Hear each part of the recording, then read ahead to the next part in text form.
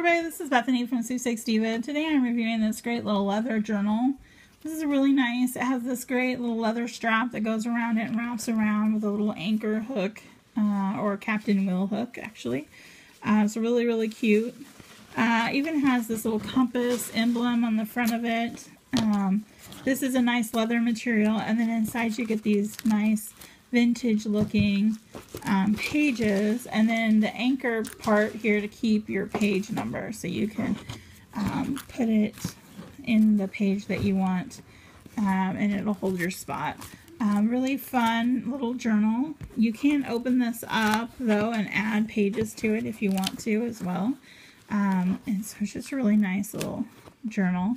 Um, we use it as I have girls that are in Girl Scouts, and so this is a great little hiking journal or travel journal, um, and it'll be a really cute uh, little journal for them to have.